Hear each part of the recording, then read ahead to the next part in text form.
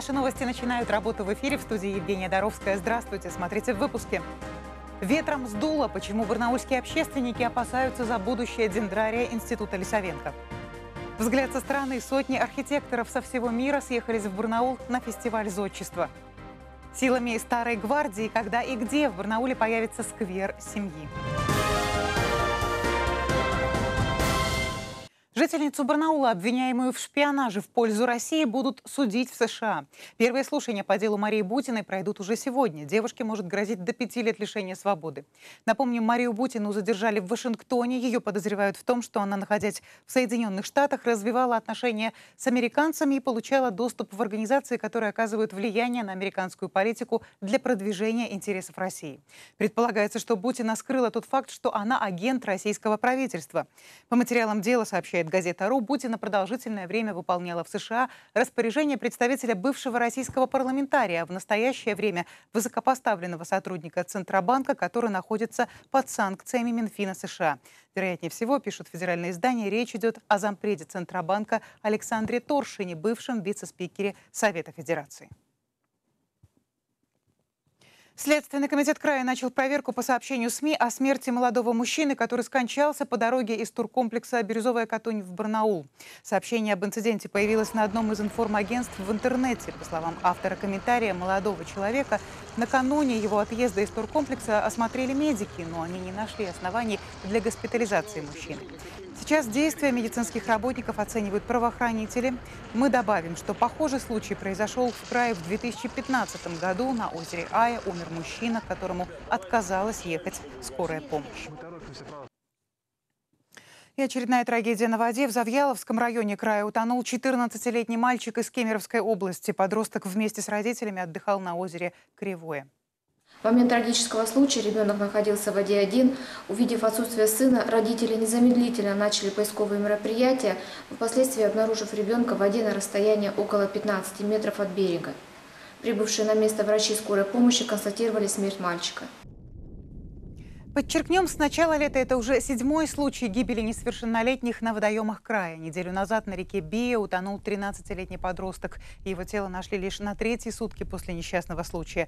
А в конце июня на реке Чумыш утонула пятилетняя девочка. По этим и другим трагическим случаям на воде Следственный комитет края проводит проверки.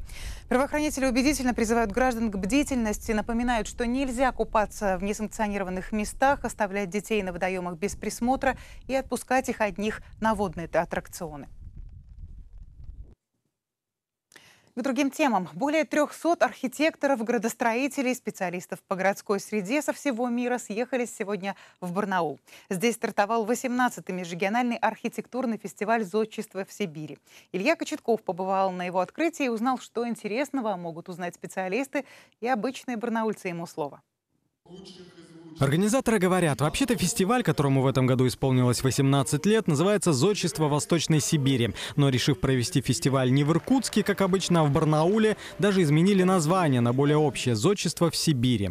Основная роль его при этом осталась неизменной. Для архитекторов Сибири э, мы предоставляем площадку, где они могут пообщаться э, с крупнейшими архитекторами России, а иногда и зарубежными архитекторами. Пять насыщенных дней, мастер-классы, выставки, круглые столы, лекции, обсуждения, даже гастрономические культурные программы с дегустацией национальных кухонь Алтая. Более 300 участников съехалось со всей страны. Из зарубежных гостей архитекторы из Китая, Ирака, США. Особый гость – Кристаль Руссель, хранитель культурного наследия Министерства культуры Франции. Два года назад она уже была в Барнауле, изучая комплекс сереброплавильного завода. Теперь вернулась, чтобы поделиться опытом, как на ее родине стараются сохранить объекты культурного наследия. У нас начали заботиться о культурном наследии раньше, чем в России, поэтому мы прошли большой путь, но проблемы остались. В своей лекции я расскажу, приведу несколько примеров, как во Франции, в Европе находят средства для сохранения не только красивейших зданий, о которых у обывателей не возникает вопросов, что их нужно сохранять, но и объектов индустриальных, бывших заводов. Расскажу, как к ним обратить внимание людей и бизнеса. Как сохранить барнаульскую спичку и ей подобные объекты планируют обсудить неоднократно. Также запланирована встреча с кинооператором Анатолием Заболоцким, снявшим все основные фильмы нашего земляка Василия Шукшина. Гость расскажет о малоизвестном факте дружбе Шукшина с Константином Мельниковым, классиком советской архитектуры. Лекция состоится завтра и, как все открытые мероприятия фестиваля, будет бесплатной. Сегодня же в выставочном зале музея «Город» открылся показ архитектурных проектов, заявленных на конкурс фестиваля. Изюминка конкурса – детские работы, которые также также оценит компетентное жюри. Сам фестиваль продлится до 22 июля, когда будут выбраны лучшие работы. Илья Кочетков, Андрей Печоркин. Наши новости. Районы, пострадавшие от урагана 19 июня, получат финансовую помощь. Почти 2 миллиона рублей будет выделено на эти цели из бюджета региона. Распоряжение подписал временно исполняющий обязанности губернатора Виктор Томенко. Как сообщает официальный сайт правительства края, 1 миллион получит Крутихинский район, 870 тысяч направят в Первомайский. Деньги пойдут на ремонт школ, больницы и другой муниципальной собственности, которая пострадала от сильного ветра. Напомним, в июне в край пронеслось сразу несколько сильных ураганов. 19 числа смерть смерч обрушился на село Буян Крутихинского района. Там создание школы сорвало часть кровли, выбило окна, разрушило, разрушила стихия и дом культуры. Также пострадали дома местных жителей. В селе Поперечка стихия также оставила свои разрушительные следы в виде поврежденных крыш и поваленных деревьев. Но в Барнаульском дендрарии продолжают устранять последствия мощнейшего урагана. В конце июня стихия уничтожила там около 200 редких растений. Территорию закрыли на целый год, чтобы навести порядок. Но между тем общественность Барнаула обеспокоена, что зеленые легкие города отдадут под застройку элитных домов. Напомним, такие опасения уже высказывались год назад, когда земля дендрария перешла в федеральную собственность. Тему продолжит Валентина Аскерова. Дальневосточная красавица черемуха Маака, европейский астролистный клен, североамериканская небесная ель. Коллекция барнаульского дендрария насчитывает больше полутора тысяч уникальных растений, завезенных со всех уголков планеты. Научный сотрудник дендрария Галина Синагейкина знает все названия, а также может рассказать интересные истории про каждый экспонат приветливый клен. Вот посмотрите, когда ветерок дует, и он листочками машет, как будто вот приветствует вас. К сожалению, говорит Галина, поприветствовать посетителей этот клен сможет не скоро. В Дендрарии после июньского урагана царит полнейший хаос. По всей территории разбросаны сотни уникальных деревьев. Научные сотрудники, студенты, волонтеры и просто неравнодушные люди уже не первую неделю разгребают завалы. 121 растение. Это погибло, прям вот погибло, которое э, придется полностью убрать. А, ну и плюс, конечно, сотни растений, у которых э, ветки сломаны, процентов 20 только убрано.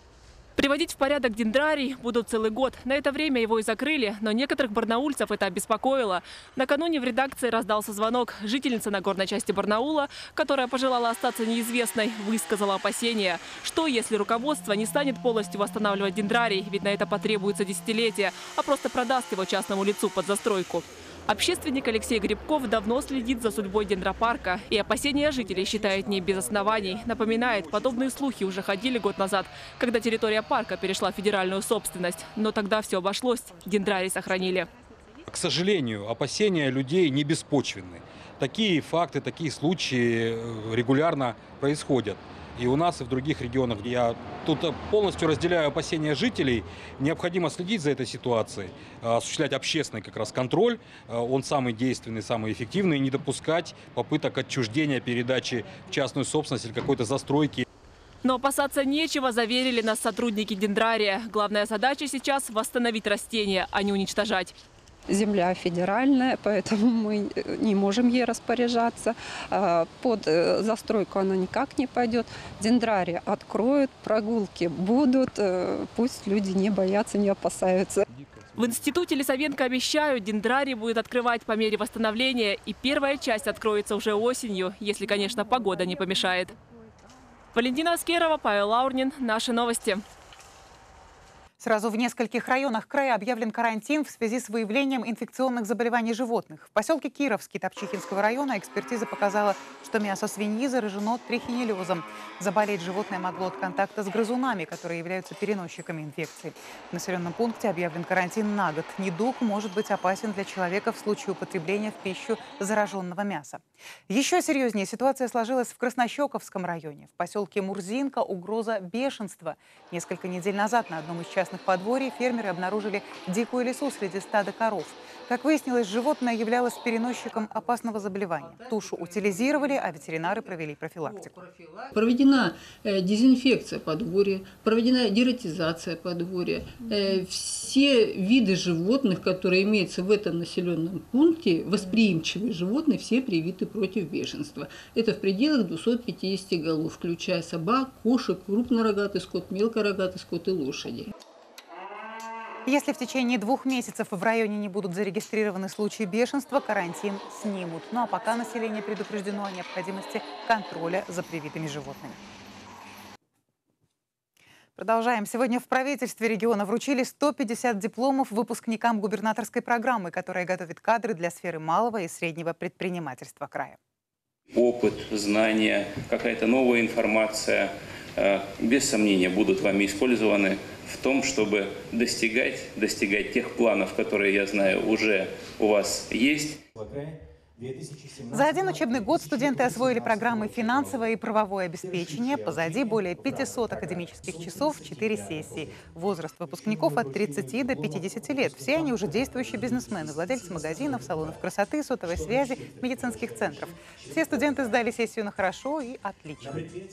У меня не хватало практических знаний в области э, финансового, значит, управленческого учета, налогов и так далее, потому что профильное мое образование другое совершенно математическое, вот, и какие-то вещи приходилось опытным путем э, понимать, осваивать.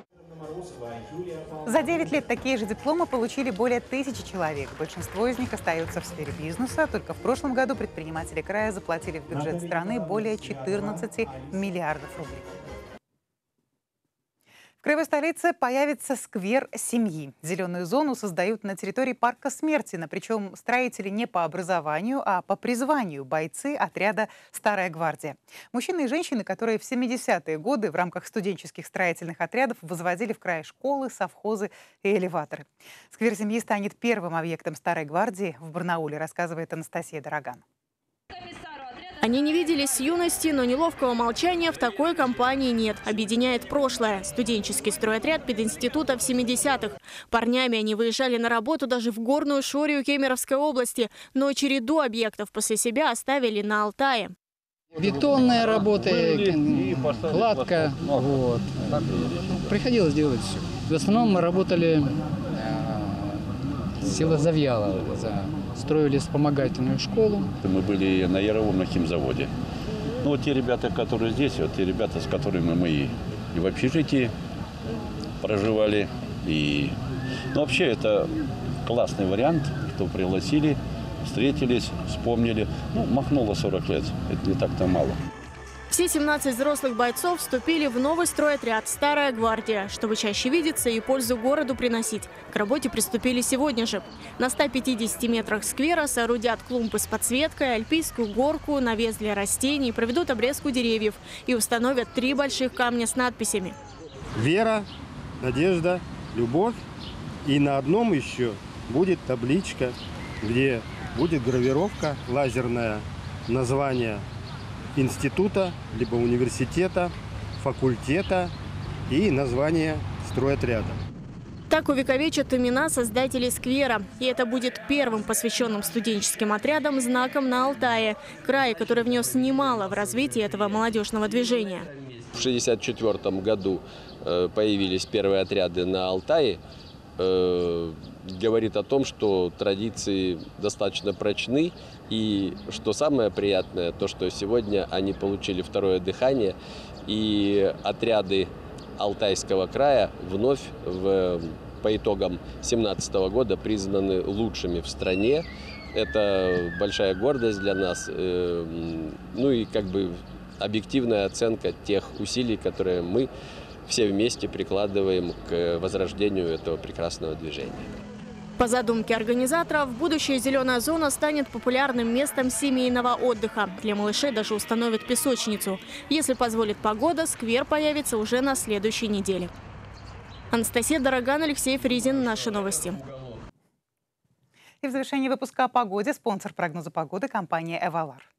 Если повышен холестерин и вы ищете замену вашему обычному лекарству, Атероклифит – натуральное лекарство для снижения холестерина. Атероклифит – фитотерапия от Эвалар. Почувствуйте разницу. Эвалар. Выгодная цена, высокое качество по стандарту GMP. Четверг в крае переменная облачность, в отдельных районах возможны дожди. В Бийске и Рубцовске до 26, Алейске, Заринске и Славгороде 25, в Барнауле ночью 18, днем возможен дождь, э, ветер северо-западный умеренный и до 26 выше 0 днем. Это все новости к этому часу. Телефон редакции 722 440. Хорошего настроения вам. До встречи в эфире.